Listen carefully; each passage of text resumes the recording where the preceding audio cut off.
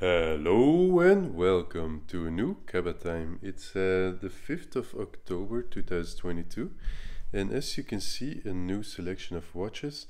Uh, not everything is in here because uh, a lot are with my watchmaker for servicing but we've got two rows of Omega, a bunch of Cartier, still many more but uh, currently being serviced, uh, Rolex, Jaeger-LeCoultre, Tudor, Patek Philippe and then Panerai and a bunch of other brands. Let's start with the Omega at the top. Um, yeah, for starters, let's look for a good angle. That's always a difficult thing well. Here we go. Um, at the top we have uh, Omega DeVille Square manual wind. Um, another manual wind square. This is a steel Genève. Uh, both of these have been serviced. There are two automatic Omega squares as well. Um, they have already been serviced but uh, haven't been picked up from the watchmaker yet. They're also ready, will be in the full listing. Next up we've got the Omega Genève with uh, Breguet numerals, uh, Seamaster Cosmic. This is a big C case. Then we've got, well, we've actually got four Seamaster Cosmics here. We've got this one um, with gray silver brush dial with blue ribbon. We've got this um, silver sparkle dial or white sparkle dial and then this white crosshair dial. Um, lastly we have this beautiful black starry um, constellation Manhattan and this blue powder dial Genève Dynamic. Um, there are a few, like I said, there are a few more watches uh, that will be in the listing on Reddit. See the link in the description below uh, that are not included in this video because they're still with uh, my watchmaker, but uh, most of them are already finished. Up next, we have this beautiful Omega Seamaster. This is the DeVille type, uh, as you can see by the case back. Uh, this one is just a little bit earlier. This one, incredible black dial. Uh, it is incredible, uh, incredibly difficult to photograph and video as well, but just looks incredible. Dial does have some marks at 12 and at uh, 5 there's some um, dial paint missing, but still looks incredible. Um, just got fully serviced. We've got this chubby Seamaster with uh, 36912 dial. This beautiful bumper automatic sub-seconds with uh, rare grey Kakita. This bumper automatic Constellation. This big boy uh, Genève with uh, hooded lux. And next we, we've got an even bigger boy. This one is uh, Seamaster um, chronograph. This one is uh, well also often referred to as the Anakin Skywalker, even though that's incorrect. Uh, this one I've already replaced the crystal, uh, the crystal seal, the pushers. I have a brand new crown for this and uh, case back seal. Um, so yeah, it it um, well will be near well it, it should be waterproof um, but yeah very cool piece has a light pattern on the dial. And next we've got a few women's watches gorgeous pieces. These are slightly bigger for vintage uh, women's watches. Um, all around well these are like this 25 or 26 millimeter this is 23 this is 30 millimeter diameter without crown. Up next we've got a ton of Cartier even though you don't see them uh, there's still about 8 Cartier not in this video. Um, first up we've got this beautiful Cartier Panthère Mini. Um, this one is 18 karat solid gold with factory diamonds.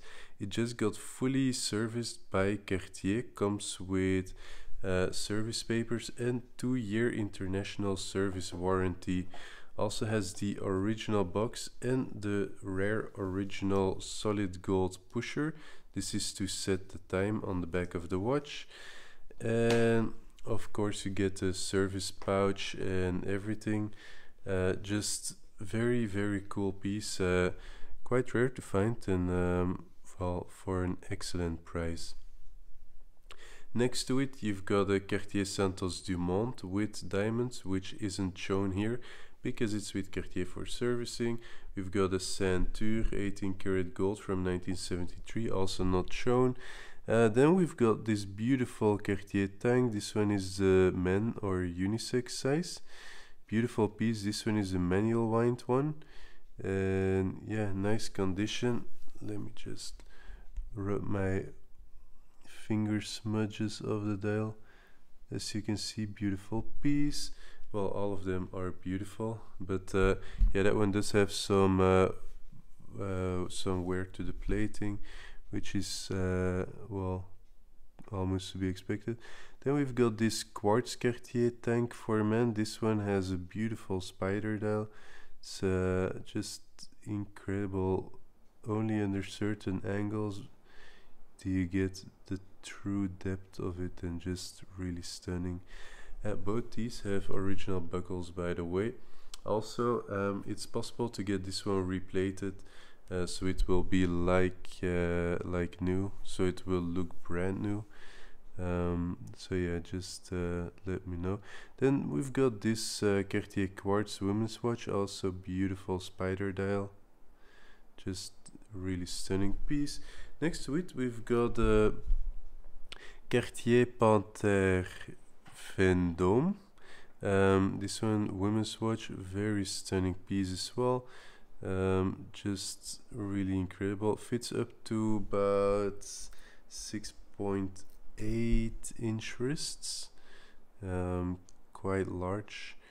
Um, next it, we've got this Cartier uh, Cartier Cougar. This one is a two-tone with bracelet and a Cartier Cougar two-tone on leather strap with deployant buckle. Then in the next row we have this beautiful thin Patek Philippe reference 3A20. Uh, this one is 18 karat solid gold from the 1990s, has uh, already been fully serviced. Next to it we have this incredibly rare Rolex Stages for women. This one is 18 karat solid gold with completely iced out factory diamonds. That's right, all of these diamonds are factory original, which is very rare, um, especially in this configuration. Uh, I forgot the, the, reference of this watch, um, like 6.9 something something. But uh, yeah, just it's a very rare reference and very, very cool condition comes with uh, this box and um, yeah just really stunning piece. A true eye catcher it is. Next week we've got this 18 karat solid gold Rolex Day-Date with blue sunburst dial next to that one we have this blue sunburst Datejust reference 1601 um, nice original condition already serviced as well um, yeah most of these are already serviced. Well actually yeah practically practically all of them already serviced. This beautiful Rolex Oyster Perpetual date with uh, white silver mosaic brick Shantung uh, linen dial. There's uh, so many names these go by but uh, I believe the correct one is Shantung dial. Just really stunning piece next to it this beautiful 38 millimeter Tudor Prince Oyster date. Um, just very nice big piece uh, something you don't come across too often. Also has uh, been freshly serviced. Then this gorgeous Jaeger LeCoultre automatic Fab Swiss so this one is a French market watch which you can tell by the Fabriqué en Suisse on the dial. Beautiful piece and this is a bumper automatic with uh, well the military type dial and beautiful blued hands. Uh, it's a bit difficult to capture its beauty in video right now but yeah just really stunning piece. Very nice original condition. Next to it we've got the LeCoultre sub-seconds with black and white tuxedo dial. Really cool piece with a waffle outer ring and um, yeah, a stripe, guilloche tapestry, whatever you want to call it, centering. Just really cool bullseye tuxedo dial. Something you don't see um, very often. Lastly, we have this Jaeger-LeCoultre uh, tank or uniplan as uh, Jaeger-LeCoultre would call it. This one is a beautiful sub-seconds piece. Um, it's a similar dial design as the Reverso and the same movement as the Reverso. This one is also from uh, 1940s, I believe. Um, and then there's also uh, Etrier for women, but uh, not in this video. Then up next we have this gorgeous Panerai Luminor uh, PAM 009 from 1998. This is a A series um, with tritium dial, just very special piece, quite rare. You don't find them very often.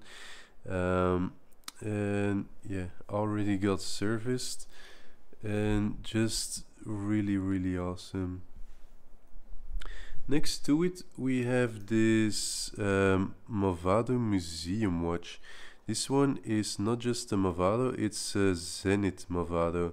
So the um, Movado and Zenith worked together in the 60s and 70s, uh, maybe even later, I don't know. And this watch was made by Zenith. So it's a Zenith movement, Zenith case, and yeah, that just makes it super awesome.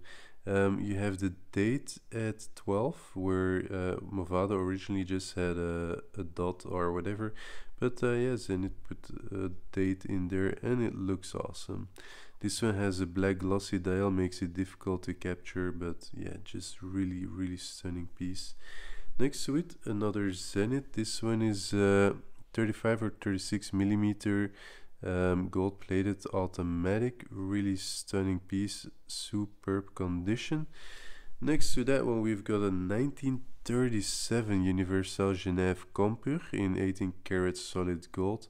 Very cool piece and very nice original condition next to that one we have a near mint or new old stock Parat um, this one is a German watch and German market watch.